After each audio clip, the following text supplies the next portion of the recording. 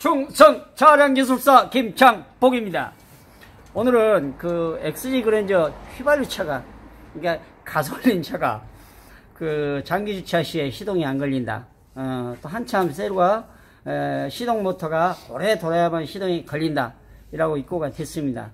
그래서 어, 여러분들이 그 만약에 시동이 잘 안 걸릴 게 연료 모터를 본다든지 또는 뭐 여러 가지 점화 장치를 점검한다든지 그런 애로사항들이 또 있어요. 그래서 이 차를 에, 간단하게 한번 점검을 해보고 에, 또 산소 센서 데이터 값을 한번 또 한번 훑어볼 겁니다. 보고 에, 상황을 한번 그 어디가 그래서 문제인가를 한번 지켜 어, 테스트 한번 해 보겠습니다.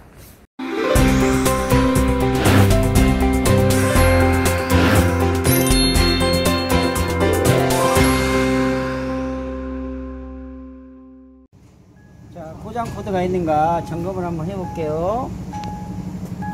자, 고장 코드는 없습니다.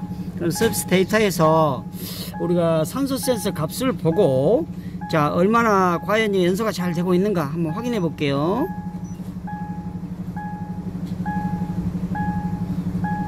자, 산소 센서 파형이 지금 현재 매우 약간 둔탁하지만 음, 이 정도면 정상이라고 판단이 됩니다.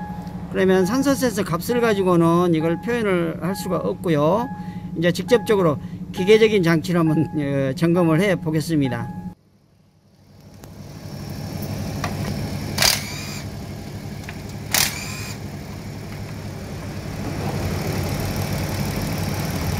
어, 지금 전자에도 말씀을 드렸듯이 이 차는 열간시에는 시동이 아주 잘 걸립니다. 그런데 시동을 꺼놓고 한 두세 시간 또는 에, 장기 주차 시에 시동이 안 걸린다 표현을 했어요. 그럼 우리가 추정을 한번 해봅시다. 점화장치 어떻겠습니까? 점화장치는 저는 정상으로 판단을 합니다. 두 번째, 연료펌프 성능 상태랄지 에, 또는 그 여러 가지 이유가 있겠지만 제가 가장 먼저 그 여러분들에게 강조하고 싶은 내용은 두 가지입니다. 첫째는 연료 펌프가 안 좋다든지 연료 필터가 막혀서 연료 공급이 안 됐거나 두 번째 두 번째는 혹시나 우리가 그 idling 상태하고 가속 페달을 밟을 때 에, 밟을 때 연료 압력을 일정하게 유지시켜주는 연료 압력 조절 밸브라는 게 있어요. 에, 이 밸브가 그 다이어프램으로 구성되어 있어서 엔진 후 진공도를 이용을 했기 때문에 악셀을 밟을 때 가속 페달을 밟을 때 스로틀 밸브가 열리게 되면 진공도가 낮아지게 되고 연료 압력이 높아지게 됩니다. 왜? 공급량을 늘리기 위해서. 그런데 에, 이 부분에가 만약의 경우에 문제가 생기면 연료가 밤새도록 또는 장기 주차 시에 서서히 흡기 다중관 쪽으로 흘러 들어가서 그 점화 어, 플러그를 이렇게 에, 적시게 돼 있어요. 그러면 점화 플러그가 농후 상태에서 우리가 노크라 그러죠. 연료가 다량으로 공급이 되어 있는 상태 점화 플러그가 젖어 있게 되면 이게 시동 모터가 돌아서 흡입 공기에 의해서 마를 때까지 또는 혼합비가 일정하게 유지가 될 때, 공연비가 어느 정도 유지될 때까지 시동이 안 걸리게 돼 있어요. 그래서 전자에는 가스가 누출해, 가스 인젝터에서 누설돼서 시동이 잘 안 걸리는 경우도 있었지만 휘발유 차는 인젝터가 열린 경우가 있는 것도 있지만 간혹 가다가 어, 또 혹시 연료 압력 조절 밸브가 불량한지 먼저 그걸 점검을 해 보겠습니다. 자, 제가 연료 압력 조절 밸브 진공호스를 한번 빼볼게요. 자, 뺐습니다.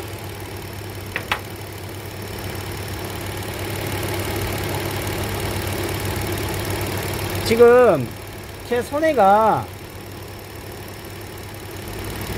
조금 뭐 묻을까 말까 하네요. 근데 여러분 여기서 그냥 지나치면 안 됩니다. 자, 보셔요. 종이를 대겠습니다. 여기 가깝게 대봐요. 자, 소량에 기름이 묻죠? 다시 한번 해볼게요.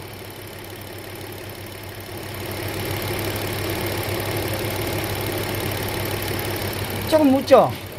제가 또, 자, 잠시 늘어나죠? 가속 페달 밟았다 놔볼게요. 얘는 점점 많이 스며 나옵니다. 자, 시동 한번 꺼보세요. 자, 휘발유가 여기서 진공호스 꽂은 요 압력 조절 밸브에서 여기서 서서히 스며 나옵니다. 자, 손가락 다시 한번 닦아, 닦아 볼게요. 자, 다시 한번 넣어 볼게요.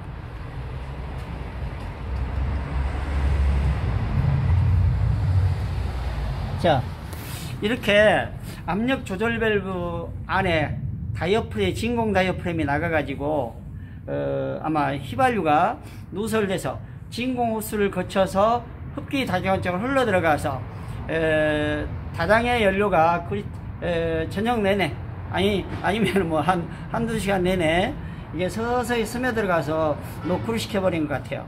그래서 제가 다시 한 번 더 진공 호스를 껴놨고 시동을 걸었다가 다시 한번 빼볼게요.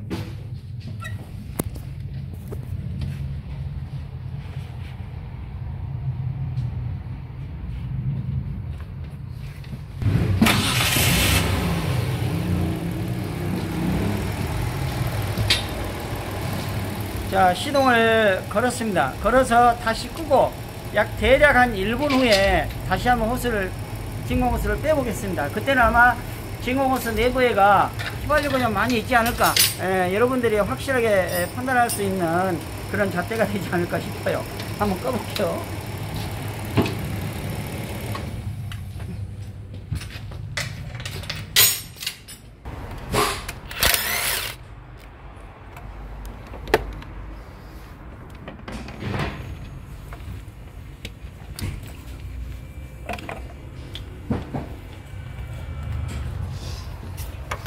자 여기 진공 호스를 뺄게요.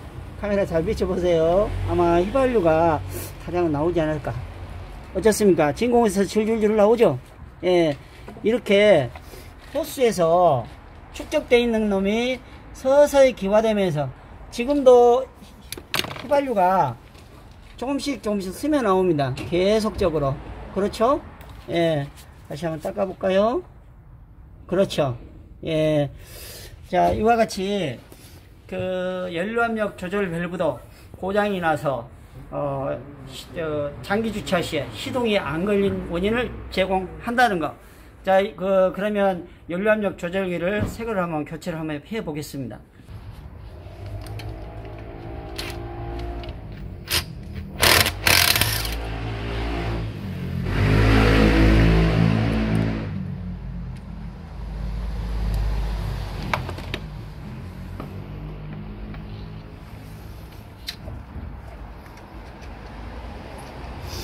요걸 빼면 연료가 갑자기 푹 분사가 되는 경우가 있는데 이거는 이미 압력 조절 밸브로 해서 싹 누설돼 버린 것 같아요.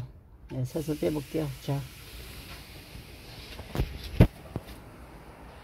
이 속에가 진공 그 작업프레임이 들어 있습니다. 그래서 엔진으로 진동력에 의해서 밸브 압력을 자동으로 조절하게 돼 있어요